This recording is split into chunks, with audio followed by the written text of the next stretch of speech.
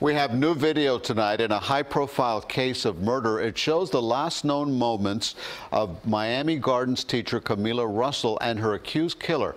CBS 4's Amber Diaz has it. She is live at the jail in West Miami Dade where that suspect is being held. Amber? And Elliot, that video is about an hour and 20 minutes long, so we went through it ourselves. Painstaking work. We picked out the crucial moments eh, that appear to link her longtime friend to her murder. At 6.05 on May 15th, Miami Norland senior high school teacher Kameela Russell pulls her car into Ernest Roberts' driveway, her longtime friend and godfather to her children. Video shows her going inside his house but never coming out. Later on, Roberts himself is seen walking outside to his trunk and pulling out what appears to be two large bags. Soon after, police say Roberts gets into Russell's car and backs it into his driveway. But according to our news partners at the Miami Herald, his defense attorney argues the video is too pixelated to say he's the one driving her car.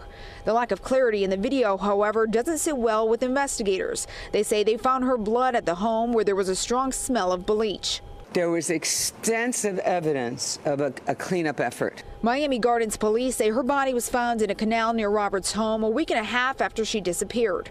Records show she died from a blunt head injury. We all want to know that. It's human nature to try to find out how was it that someone so close could have done this to someone that was so loved by so many people. Investigators say a key clue that tied them to Roberts is a note. He's accused of writing to a coworker at a different school, asking about chopping up a car and throwing the note away. Police say the motive is still unclear. And we're told that co-worker did not hesitate at all. They went right to police. As for Russell's car, it was later found behind a gas station. For now, we're live in West Miami-Dade. Amber Diaz, CBS 4 News, tonight.